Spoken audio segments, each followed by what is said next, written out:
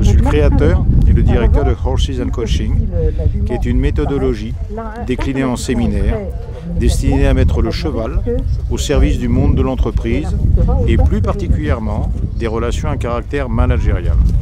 Horses and Coaching est un concept dans lequel on travaille soit sur l'individu, son positionnement, son développement personnel, son leadership, soit sur la dynamique des équipes. Si on envisage le management dans sa définition étymologique, il faut se rappeler que manager signifie être en capacité de tisser des relations de coopération durable. C'est très précisément ce que signifie le mot manager. Et le meilleur synonyme de relation de coopération durable, c'est confiance partagée.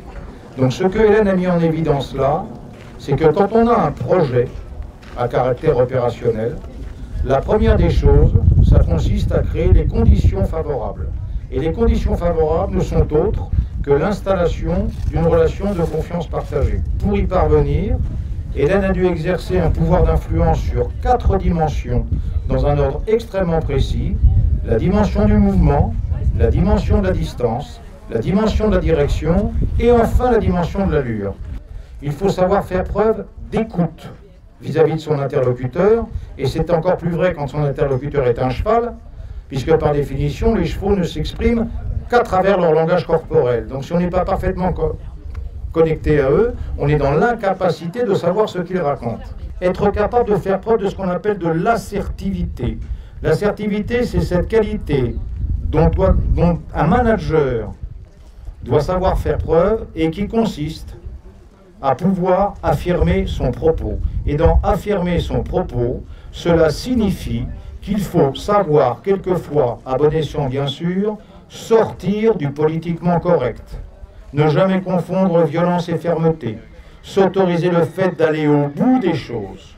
Il faut admettre l'idée selon laquelle, dès lors que les choses sont conformes aux consignes que l'on donne, il est indispensable de savoir à ce moment-là ne plus rien faire. C'est-à-dire ne pas anticiper sur le comportement de son interlocuteur et ne pas être tenté de porter son interlocuteur dans l'exécution. Ce qui permet ensuite d'envisager des procédures de délégation.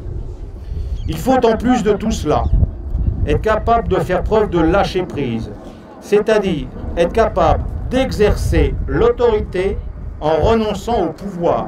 Quand on s'adresse à un cheval, dans le but de créer une relation de confiance, il faut être en capacité de faire totalement abstraction du temps que cela prendra.